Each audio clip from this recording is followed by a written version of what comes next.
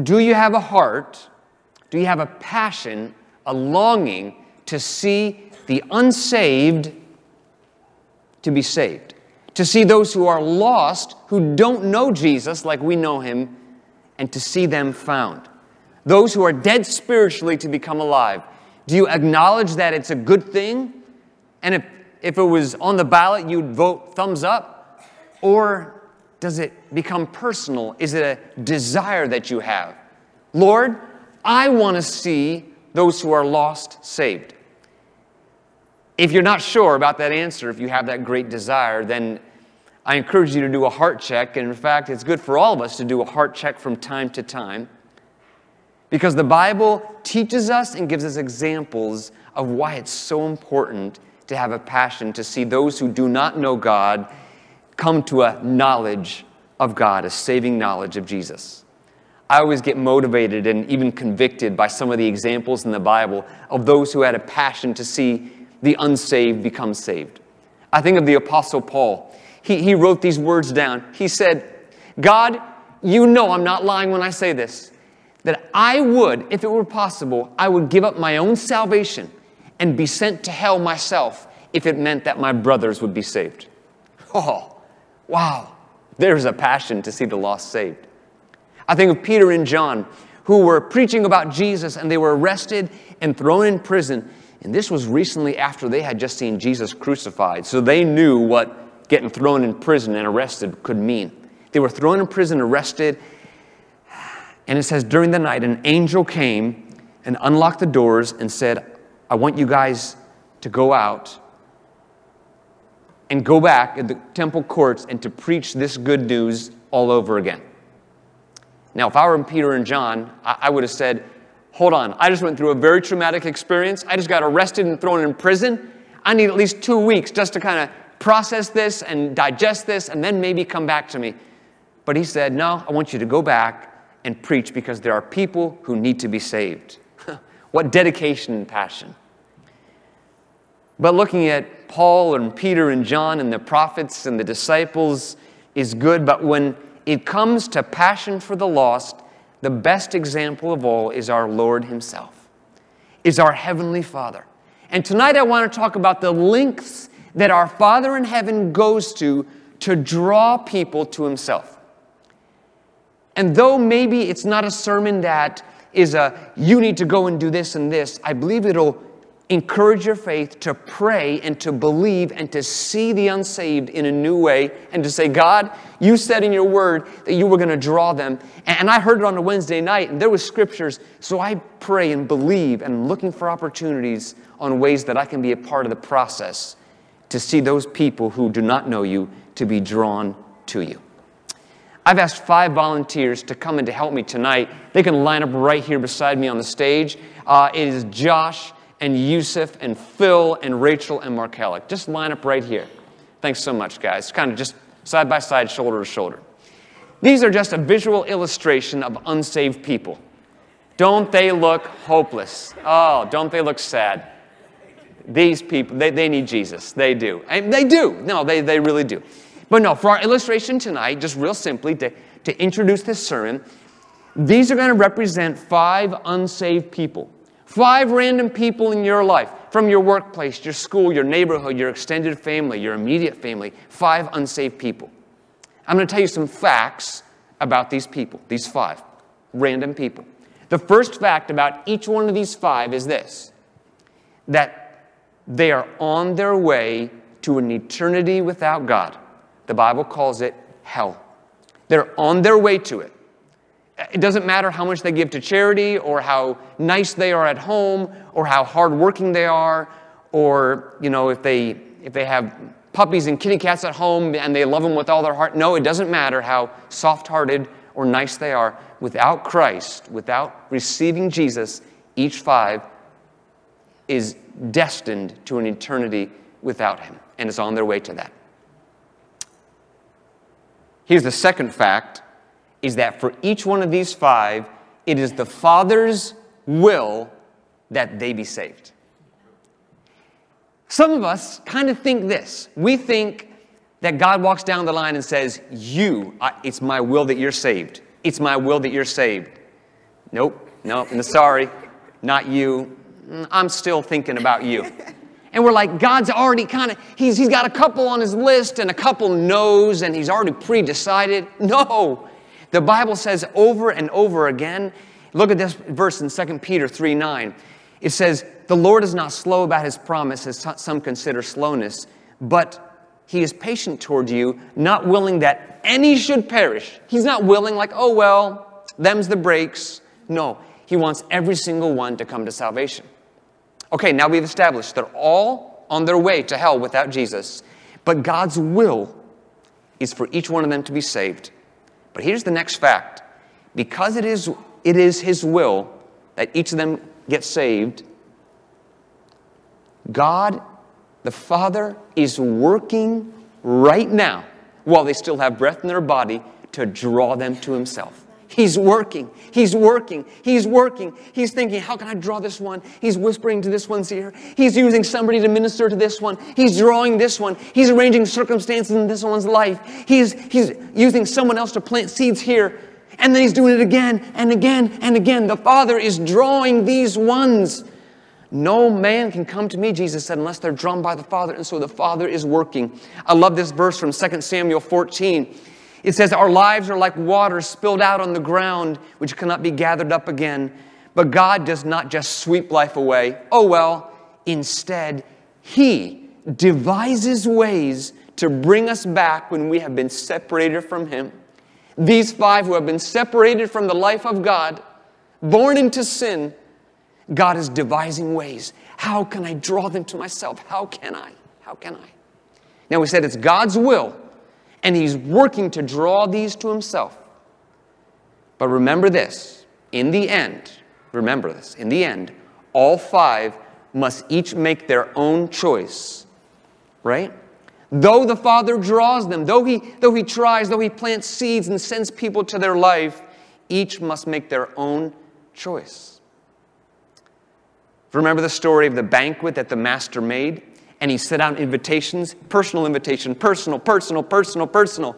And this woman said, No, no, no, yes, yes. Each person in the end must make their own choice on what, how to respond.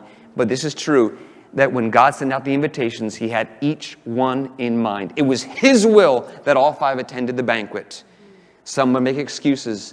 So we're not saying tonight, just because it's God's will that everyone is saved, that, that we have this universalism and everyone on earth is going to be saved. Hell, is, hell will be empty and heaven will be filled with every single person who ever lived. No, no, the Bible says that each person must make their own choice.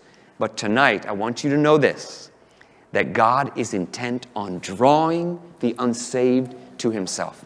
Thank you, each one of you. Appreciate that. You can take a seat tonight. So tonight, I hope that your passion is stirred as you look at how much God works to draw the unsaved to Himself. I hope that this encourages you to pray for the lost, to, to see them in a new way, no matter how hopeless they may look, and to believe that as you partner with God, He will use you to minister to the lost. Number one, we're going to look at six ways tonight.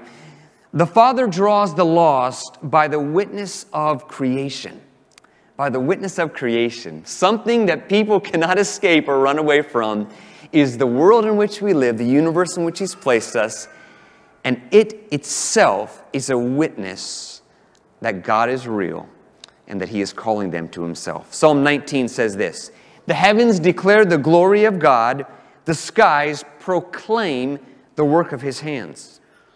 Day after day, they pour forth speech, night after night, they reveal knowledge. They have no speech, they use no words, no sound is heard from them, yet their voice goes out into all the earth, their words to the ends of the world. The Bible tells us clearly this truth that each person who wakes up and who sees a sunrise, who sees storm clouds gather, who looks up into a starry night sky, something whispers to their heart, an undeniable truth gets laid upon their heart that says, this could not have been by mistake. No matter how much evolutionary theory they learned about in school, there's something that whispers to their heart, this newborn baby could not have just happened by accident. This is the work of a great designer. And not just some kind of designing force, but verse number one says that it declares the glory of God Himself. Proclaim the work of His hands. Creation itself is a revealer of knowledge and understanding about God and His truth and His reality. Isn't that encouraging to us that we can say, Lord, you have already set into place such a great witness? Romans 1:20 says, "Since the creation of the world, God's invisible qualities, his eternal power and divine nature have been clearly seen, being understood from what has been made, so that people are without excuse." If someone stands in heaven one day before the, the great judgment throne, the great white throne, and says to God, God, you never gave me a chance. You, you, I, I never knew that there was a God. God will point to this and say, You have no excuse. You lived in the most wonderful, amazing place that was the work of my hands, and it was a witness to your heart moment after moment after moment. I encourage you, as a witness for Jesus, to use the, the truth about creation and God as our creator as an important starting place. You know, without this starting place that God made us, and we are the work of His hands, nothing else makes sense. So, whether the person that you're speaking to is rich or poor or educated or, or uneducated, always use it as a starting place. Um, in Acts 17, Paul, he's, he walks into Athens, just a, a seat of knowledge in, in, in that day of Greece. And there was a place called the Areopagus where all the smart philosophers would gather and talk about the most cutting edge ideas. And he walks up and says, I have something to say. Could, could I bring some new uh, philosophy, some new beliefs to you? And they said, Sure, come on in. And the Bible says that he gets up and preaches a sermon. And for 75% of his sermon, he just talks about God as the creator. That's all he does, for 75%. He talks about how God has made each nation and each tongue and each one of us, and His hand is in our lives, and He made heaven and earth. And He goes on and on and on about it. He doesn't go on about how Jesus was crucified and all that. That would come next. But for that first 75%, He talks about the truth of God as Creator. So important for you and I to partner with God in exalting Him as Creator, the great designer of creation. It is a great witness to those who are unsaved.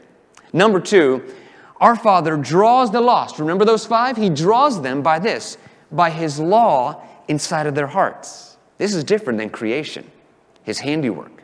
This is His truth, His moral law inside their hearts. Romans 2 says, even Gentiles, those who were not of God's chosen people, who do not have God's written law, show that they know His law when they instinctively obey it even without having heard it.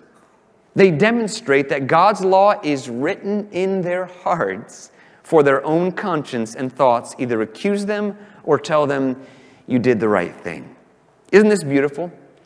The Bible says that though we are all born sinners and separated from the life of God, yet God has put into each person's heart, He's written on it, on their conscience, a standard of right and wrong. Two little two year old toddlers in a class. One is playing with the toy, the other comes up and takes it, and the first one goes, Hey, you can't do that. We know inside of us stealing is wrong. That little two year old goes and disobeys mommy, and they have a guilt and they want to hide what they did. Where does that guilt come from? That, that sense of, I did something wrong. It's something that God has placed inside of us, a moral code. Even when we tell a lie, something inside of us changes. You know, even to this day in 2024, lie detector tests are a real thing. They're, they're an established way of, of bringing um, uh, truth to a person and, and further establishing their testimony. What does a lie detector test measure? Our heart rate, our blood pressure, our breathing rate, our perspiration. Something inside of us changes when we know we're not speaking the truth. Why? Because it's written on our hearts by God. That standard built inside of us is a moral standard for all mankind. God, even when sinners are far from Him, is still trying to teach them and guide them to himself through his law. Psalm 25, verse 8 says, Good and upright is the Lord, therefore he instructs sinners in the way. These five sitting here, God's coming up and He's whispering to their heart. He's saying, Oh, you shouldn't do that. You shouldn't do that. Oh, come back to me. I'll show you the way to go. I'll do it. Come back to me. Whispering to their hearts. Oh, He's so good. He's so merciful. Whispering to people's conscience, never letting them rest, never letting them have settled peace. There is no rest, says my God, for the wicked. That's not some kind of angry curse by God. That's His law in their hearts that says, without me, without following my word, there's no way you can have rest. God's hope is that the lost will recognize that the one greater than themselves has set those laws, and that when they break His laws, He's the only one who can provide forgiveness for that guilt. Creation itself and its wonder draws people to God. The law that he written on their heart, that is, he's written on their hearts, draws him. And number three, the Father draws the lost by the preaching of the word. If you forget any of the six tonight, don't forget this one, because this is the primary way that the Bible says that people are drawn directly to salvation by the preaching of God's word. This is told and, and exemplified over and over again in the Bible. The Bible says, how shall they hear? How shall they believe unless someone preaches to them? Let's not overthink it and go, well, we don't really have to go out and witness because God's a sovereign God. If He wants them saved, He'll get them. No, no, no, no. no. Unless someone goes, unless someone preaches, the lost will not be drawn as God intends. There is power, power, power in the anointed spoken delivery of God's word. No matter how, how far we go into time, it will never go out of style. God, by His Spirit, uses the written word, the, the, the Bible and its truth delivered to people in, through the spoken word to get past people's reasoning and defenses, to touch their soul and their spirit, to cut into their heart, and to bring them to a decision point of saying, Do I Will I receive Jesus or will I not? In Acts chapter 2, Peter got up and preached a scripture filled, convicting sermon. And this is how it ended in Acts 2:37. Peter's words pierced their heart, cut them to the heart, and they said to him and the other apostles, "Brothers, what should we do?" They reached a decision point. That's why it's such a good idea for you and I to not only be a witness to people, but to invite them to church because they, they will be introduced to the simple, profound preaching of the Word, the drawing of the Spirit by the Word. There has been person after person who has come for the first time to church. And I mean, and maybe Pastor B was preaching on the end times or forgiveness or, or the blessed life or any number of topics. And but for the first time in their life, they sat underneath the preaching of the word, the God ordained preaching of the word, and they could not get to the altar fast enough because they experienced a cutting to the heart that couldn't match anything else. You know, that this proclaiming of the word, though, um, though it happens primarily in church, God can do his work at any place and any time. There's one of our girls' ministries teachers downstairs, teaching one of the girls' classes. And her testimony is this it was some years ago that she was sitting home on an afternoon watching her favorite soap opera. She said, I love my soap operas. She's watching her soap opera, and suddenly it cuts off the soap opera, and on her screen is Billy Graham.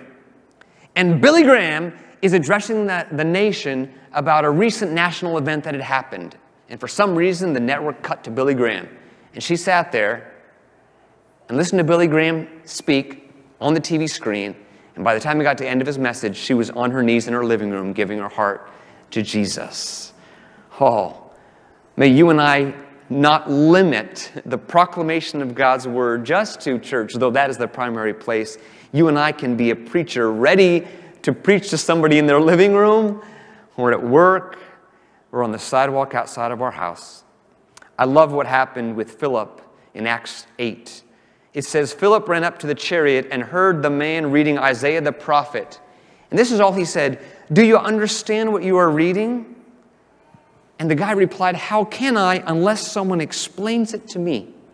Do you know that you can be a preacher by simply explaining the scripture to someone? We can quote scripture, and that's good, but to take a scripture and then to explain it to someone, Maybe, maybe you reach a point where someone asks you what you believe, and you say, Well, I believe, and the only scripture that comes to your mind is God so loved the world that he gave his only begotten Son, that whoever believes in him shall not perish but have eternal life. And you finish quoting it, and you go, Good, good, I witnessed. And you, No, no, no, no, no. They need someone to explain it to them. You know, God so loved the world? Yeah. And you just kind of just, you let the Holy Spirit just kind of touch your heart, and you just break it down from there. Our God is a loving God. So many people think of him as this angry, vindictive God, and he is holy and just, but he loves. He is love, and he loved the world. Yeah, all the rotten people in and all the sinners, and the worst of the worst, including me. God so loved the world, but he didn't just love them with in his heart, but he loved them by giving. And you just explain John 3:16, and by the time you're done, you just preached a sermon, and God had the chance to draw the lost because of you. Be a preacher. Be a preacher with your words. Number four tonight, he draws the lost by our good words and our conduct. Oh, my brothers and sisters here tonight, those watching online, listen well. If you want to turn someone off from the gospel, if you want to guarantee that someone never even thinks about receiving Jesus ever again, then invoke the name of Jesus on your lips and have a plaque on your car and a verse on your desk at work, but act like everybody else at work with your actions. Talk back to the boss, talk about him when he's not there, cheat a little on the numbers, laugh at the same dirty jokes, go to the same drinking parties after work. Do those things. And you can guarantee that the people who see you as a Christian say, thanks, but no thanks. If you and I carry the name of Jesus on our lips but don't honor him with our lives, the lost people around us will quickly conclude that being born again, whatever that means, is just a hypocritical joke. But here's the good news invoke the name of Jesus, speak him, have the verse on your desk, and live for Jesus and honor him. And they will be unable to deny the truth of Jesus. They will say, you know what?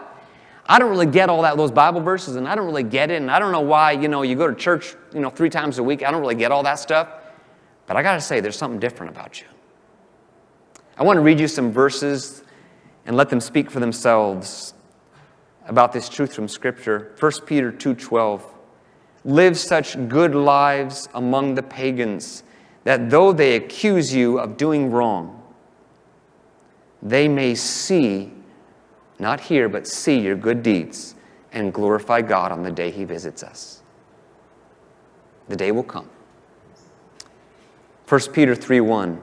Wives, in the same way, submit yourselves to your own husbands, so that if any of them do not believe the word, I don't want to hear. Stop talking to me with those Bible verses, honey. Come on, get them out of my face. I don't want to have family devotions with you. Thanks anyway. They may be won over without words by the behavior of their wives. Titus 2 Servants, you could say employees for us, should be willing to serve their masters, their bosses, at all times. They should try to please them, not argue with them. They should not steal from them, and they should show their bosses that they can be trusted. Then, in everything they do, they will show that the teaching of God, our Savior, is good starts with the life, right? And finally, Matthew 5 16, let your light so shine before men. Oh man, I'm a light at work. I'm a light. I'm a light for Jesus. I walk in singing a song.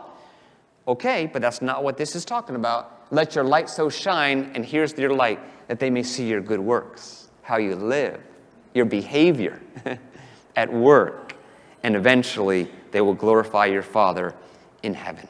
Oh, we do need to speak about Jesus. His name needs to be on our lips. We do need to walk into work singing a song, but let it be that we back it up with our walk, our behavior as well. It's a method that God will use, the Father will use to draw the lost. Two more tonight. Number five, God draws the lost by trial and trouble. Oh, it was an excellent sermon by Pastor B this past Sunday. It was entitled The Sky is Falling. Watch it online. Go to our channel on YouTube or, or, um, or Facebook or the, right there on the archives on our website.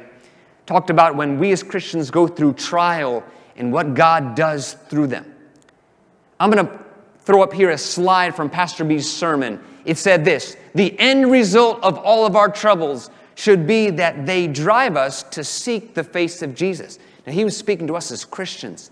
What a good, wise statement that the end result of all of our troubles is that we're like seeking God. We're getting drawn closer to Him.